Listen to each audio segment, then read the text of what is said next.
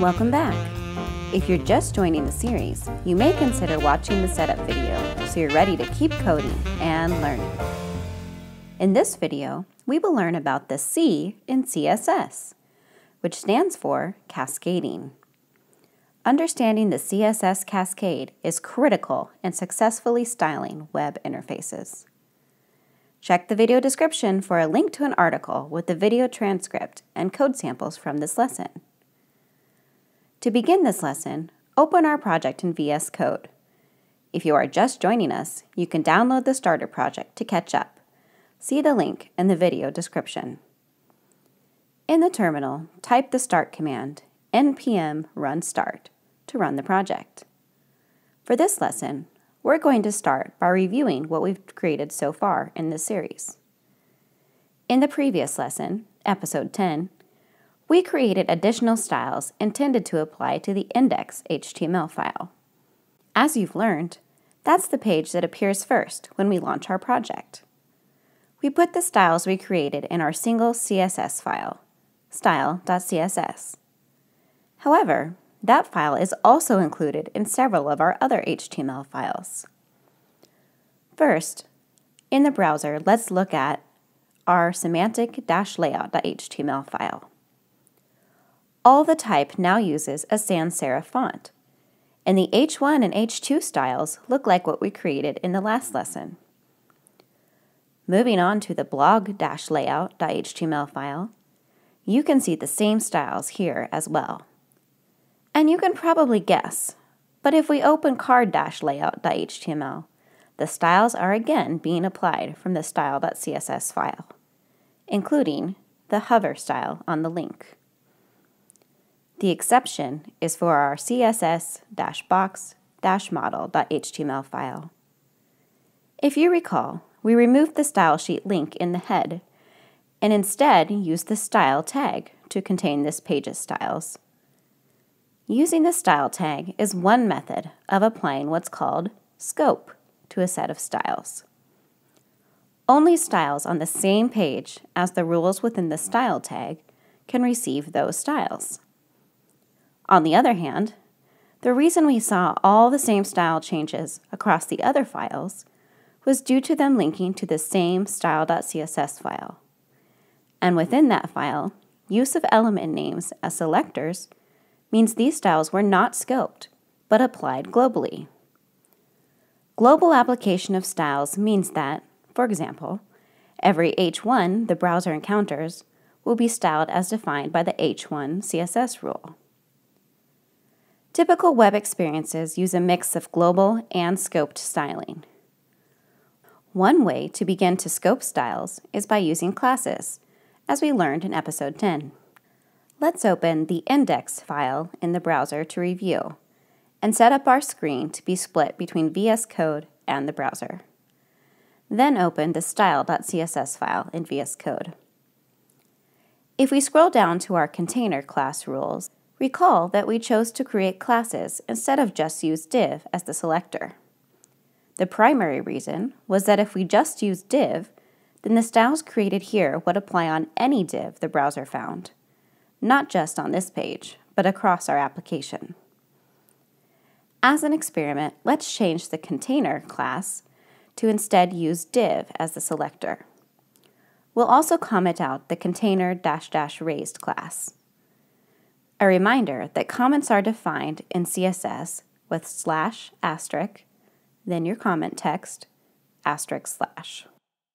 Save, and the page will not appear very different except for the loss of the box shadow on the second div. But now let's open the index.html file and add a div around the paragraph, or p tags. Save, and see that it has picked up the styles that we only wanted applied to the divs around the lists. Use of CSS classes prevents unwanted styles thanks to the scoping behavior. Let's undo the changes we made by removing the div around the paragraph and reinstating the container classes. As for global styles, typography is an area where global application is typically desirable behavior, especially for rules such as font family, font size, line height, and sometimes margin spacing. This assists in a cohesive reading experience across your website or application. The way we added font family within the body rule in the last lesson was actually your first rule taking advantage of the CSS cascade. The cascade refers in part to the behavior of descending styles inheriting from their ancestors. Since body is a required parent tag for the entire HTML page, each typography element is considered a descendant and therefore inherits styles defined in body. Let's demonstrate this by adding another property to our body rule. We'll add a rule for color green and then save. Heading levels 2 through 6 are now green, but not the other text found on the page because they are inheriting from scoped rules. The second key to the cascade is that style is defined last for the same property applied to the same element when in our what is applied by the browser. To demonstrate, let's add a new rule after our existing H1 rule for H2 with color Firebrick. Save and see that the H2 is now a shade of red. Next, at the bottom of our style sheet, add another rule for H2 with color pale violet red. Save and see how the H2 is now a shade of pink. The third key to the cascade is that the order of rules matters unless a rule with what's called higher specificity is used. Classes are one way to add specificity to a rule. To demonstrate, let's add an H2 as the first item in the container divs using the text container headline and save. Then, let's use Inspector to check out these new H2 tags. You may have expected the color to be blue-violet, like the list text. But as Inspector reveals, the H2 rule for pale violet red is applied due to that rule for H2 following our container rule. To change this behavior, we need to scope the H2 color to be specific to container.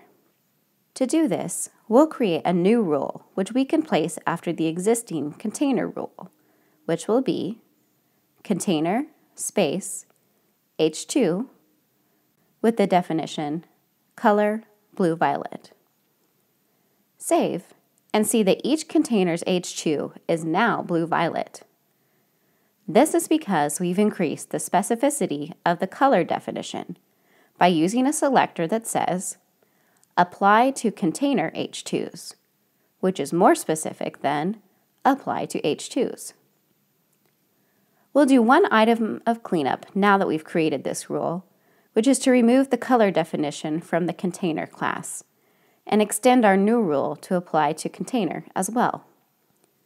This reduced duplication assists in keeping related rules together and also reduces errors in applying the cascade when you are explicit about how properties are defined. There are a few more ways to increase specificity, and we will learn those and continue learning about how to be mindful of the cascade in our upcoming lessons.